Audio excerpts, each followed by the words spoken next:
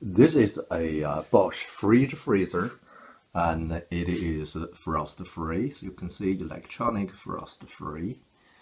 However, after a few years, like uh, three to five years, even there is a defrost device in the fridge, uh, but there's going to be too much ice inside so that the fan will be blocked. So for any frost-free fridge freezer, you're going to have a compressor, you're going to have a ventilation fan. And if there's too much ice around the ventilation fan, the fan will be stuck. So if it's stuck, you, the ventilation will stop and uh, your fridge will getting warmer and warmer. Normally, when the fridge freezer is running, you should be able to hear the compressor and the ventilation fan. And when you open the door, the up door, the fridge door, when you open the door, the fan will stop running. When you close the door, the fan will start again, keep running together with the compressor. And if you, when you hear compressor, but you can't hear the fan, more likely the fan is stuck. So you have to do manual uh, defrosting like this. And you can particularly you can open the freezer door and leave it open for hours. To accelerate the ice uh, melting, you can remove the panel. Here I have removed the lower panel. The lower panel, there are two uh, smaller head screw, stainless screw, and uh, there are two holes. So this is the guide for the ventilation to the lower part of your freezer. So it's uh, installed like this. So it's installed like this. You can see uh, there is uh, two screw holes over there. And also there's the upper upper cover. The upper cover is for the evaporator. And you have this uh, wash, washered uh, kind of a washer bigger head uh, screw for the upper cover. I have removed and pull out a bit. For another view, so after about 15, 16 hours, you should be able just uh, pull this top cover out. So when you install, you just push it uh, uh, back into the bottom. And when uh, it's uh, melted, and you can push it out. Notice inside there, this is the evaporator. And this, I think, is a heater for defrosting. When there's some ice, this will heat and melt the ice. So this is the uh, heater and evaporator. I'm going to use two hands to move this cover and have a good view. So this is the uh, upper cover I have uh, removed. And here you can see, so the lower board, and this is the heater board, I think, uh, for defrosting. And here's the evaporator. And uh, you're going to have uh, fans over there, see? And that corner is the fan. So if there's too much ice, the fan will be blocked. So we're going to uh, leave this open and uh, wait all the ice uh, melt. So you can see here are the wires. I think uh, this is a, a so electric wires connected to this. So this must be the uh, heater for defrosting, and upper one is the evaporator for cooling down your fridge freezer. And uh, if you check now, I think if you check, you can see here the fan. The fan, if you rotate, it should be free when there's no ice. I think uh, it is uh, all right now. And now it's about 22 uh, hours after I open the door and let the ice melt.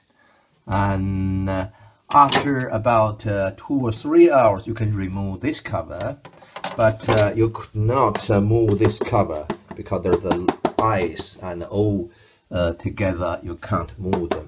And I only move this after about uh, 15, 16 hours, I remove this cover. Here is the real view of a fridge freezer.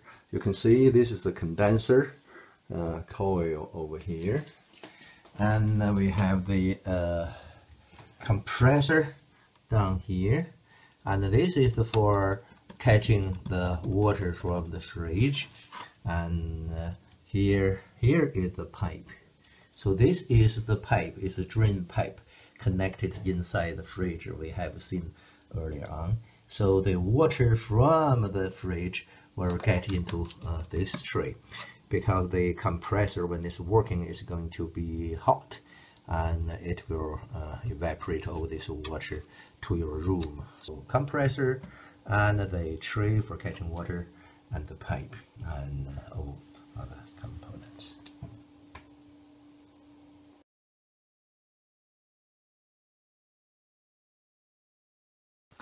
Uh, another thing you can see here, here the, the, the heater evaporator, when there's too much ice, this heater uh, will come on and heat up the, the ice and um, ice uh, uh, melt as water and flowing over to the bottom parts. You can see there is the protruding side there and at that end is the drainer.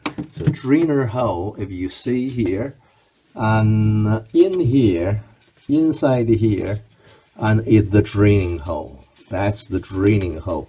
You you have this will get into this will get into there, and uh, it's uh, going to drain to the uh, above the compressor. So this is the, the water where the water goes, should go. But after that blocked, if there's too much ice, if the draining hole blocked, all the melted water will just flow into your fridge. So that's you're going to have a trouble very soon. And uh, in normal operation, all the water uh, melted from the evaporator should go in there outside the fridge to the above the uh, compressor. For the uh, draining, you can see, and that is the hole going together over there. That's the hole. And you have the plate going there uh, over inside there. And this is going there. So below this is going to be the draining hole. And all the water here will just flow to the outside of the fridge.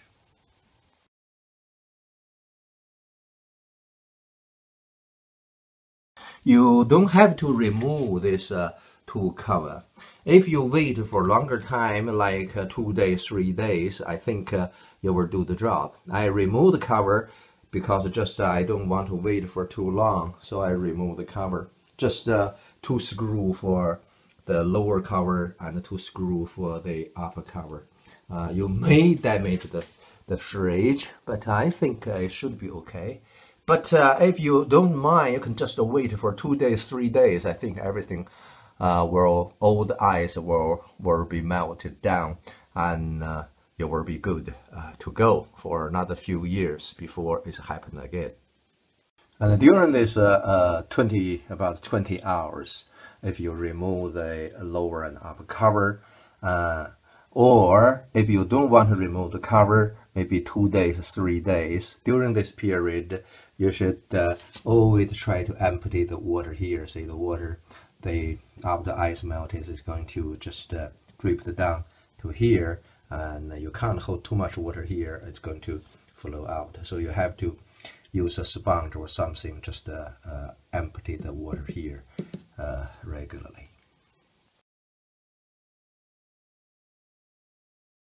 so next I will just uh, wipe uh, all the water left to reduce the, the water before I install the back again. If you look at the lower size, you can see here, this is just the shape of the of the back cover. So uh, I will then install this back.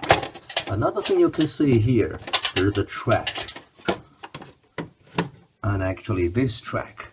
So this track is for the upper cover to go over there.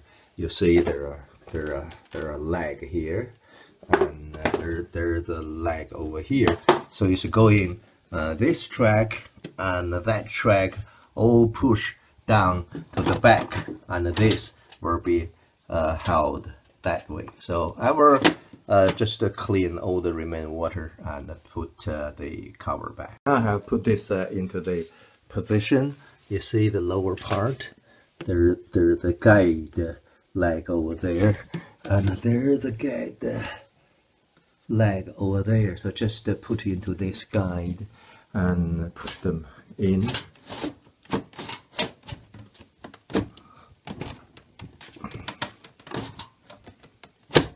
So I need to use the two hand just to push them fully in uh, before you can have the screw on.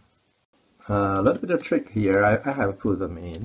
And the lower heater, you just pull out the, the lower heater panel, let it align to this uh, end. So just pull it out uh, and uh, against the front. And then it's uh, more easily you push this in. Now it is uh, in the uh, in position, you see. we have the screw holes, so I come to put the uh, screws uh, on. There are two screws, and here and here.